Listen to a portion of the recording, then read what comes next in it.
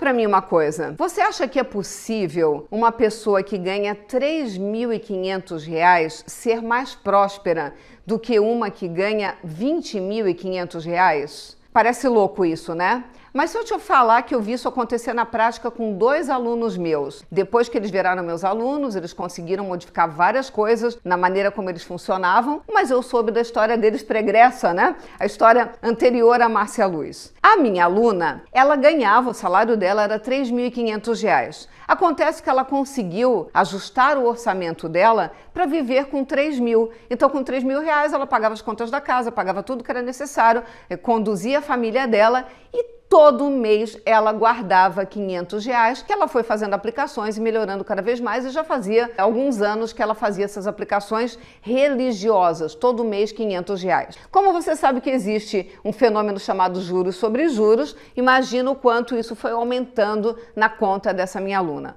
Um outro aluno, que eu não vou falar nomes porque eu não pedi autorização deles, ele ganhava 20.500 reais. Não era exatamente salário, ele faturava 20.500 reais, em torno de 20.500. Às vezes um pouquinho mais, às vezes um pouquinho menos, mas se ele pegava a média do ano, dava 20.500 reais. Acontece que ele gastava por mês 23, 25, 28, 32, algumas vezes e vivia endividado.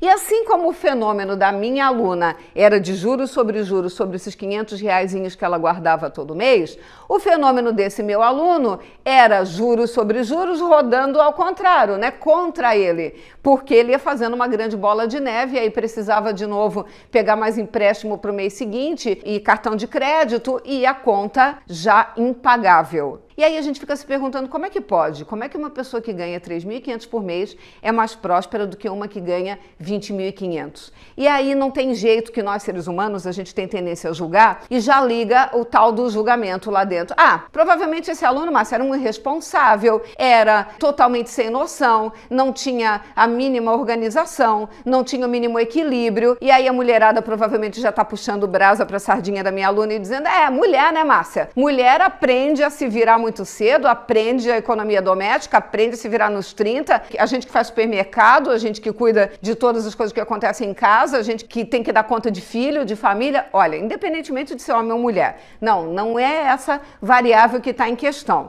E também é muito precário da nossa parte fazer um, juízo de valor desse. Ah, o cara provavelmente era um irresponsável. Não, não é assim que as coisas acontecem. É fácil quando a gente está olhando de fora. No entanto, é possível possível que você já se enrolou nas próprias pernas com dinheiro. E é possível que você me diga assim: ah, mas é que eu não ganho 20.500. Se eu ganhasse, eu não teria me metido num buraco desse. Para lá. Vamos devagar, com andor, porque não é exatamente assim que a banda toca, não. É importante você entender que o que faz com que uma pessoa consiga ser próspera e outra ter uma vida escassa tem muito mais a ver com o que está dentro da sua cabeça do que com o que está fora ou na sua conta bancária. Quando você tem uma mentalidade de escassez, quando você tem sabotadores trabalhando contra você, quando você tem crenças limitantes que colocaram dentro da sua cabeça na sua mais tenra infância, quando você não tinha condição de avaliar, quando você tem muitas vezes traumas, situações do passado, exemplos mal resolvidos, tudo isso está acionando gatilhos dentro de você.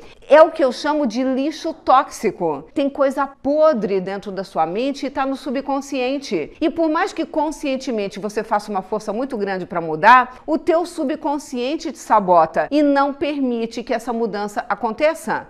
O que, que a gente tem que fazer então? Uma grande faxina mental. E não é por acaso que eu estou segurando esse objeto chamado japamala, que é parecido com um rosário cristão, mas na verdade ele tem 108 continhas e que é muito utilizado junto com uma técnica havaiana chamada Ho'oponopono. É uma técnica cristã que trabalha quatro princípios: arrependimento, perdão, amor e gratidão. É uma técnica cristã exatamente? Não, mas o cristianismo se utiliza desse mesmo fundamento. Então, quando você está praticando o Ho'oponopono, que é uma técnica havaiana que surgiu muito mais como uma técnica para ajudar em relacionamentos que estavam truncados de alguma maneira, quando ele foi utilizado lá no passado, ele era utilizado para quando as pessoas se desentendiam numa tribo havaiana, elas voltavam a se relacionar, trabalhando arrependimento, o perdão, o amor e a gratidão. E hoje a gente consegue utilizar isso de uma maneira muito mais poderosa, ajustando afastando os pensamentos que não estão bons na nossa mente, o lixo tóxico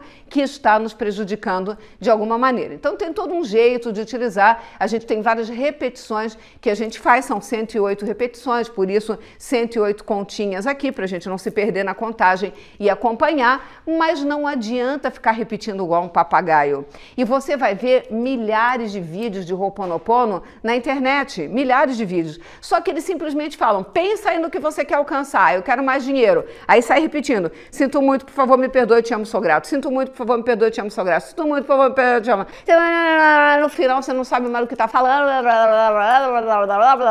e dorme com o negócio na mão e não tá nem aí, não lembra mais por que está fazendo, já está de saco cheio e aí xinga o filho e chuta o cachorro e a coisa não funciona. Por que, que não funciona? Porque você está exercitando da maneira errada. A intenção da limpeza ela é muito importante. Você precisa focar em limpar as coisas certas. Então não adianta simplesmente repetir o mantra: sinto muito, por favor, me perdoe, te amo e sou grato.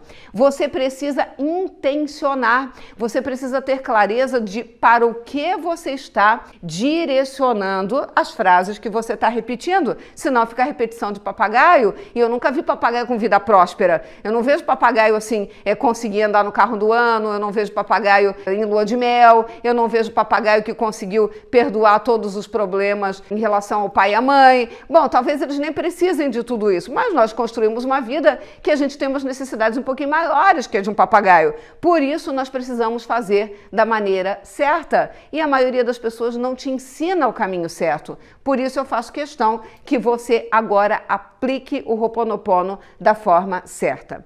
E nós não vamos fazer isso num único vídeo, porque eu precisaria de mais tempo, esse vídeo ficaria muito longo. É por isso que eu estou criando o intensivão do Ho'oponopono da prosperidade. O que, que são isso? Sete encontros. Como é intensivão, nós vamos fazer dois encontros por dia. Então, em quatro dias nós vamos acabar. Sete encontros, onde nós vamos fazer o Ho'oponopono, cada um dos encontros, com uma intenção diferente, focado na prosperidade. Apenas na prosperidade financeira? Não. Prosperar significa melhorar a vida, seja na área financeira, na autoestima, na saúde física, no equilíbrio emocional, nos relacionamentos, andar para frente. É isso que nós vamos fazer no intensivão do Ho'oponopono da prosperidade. E você vai poder usufruir então de todos os benefícios, não é teoria, é exercício prático, são sete aulas práticas, onde nós vamos fazer exercícios práticos de Ho'oponopono focados na prosperidade,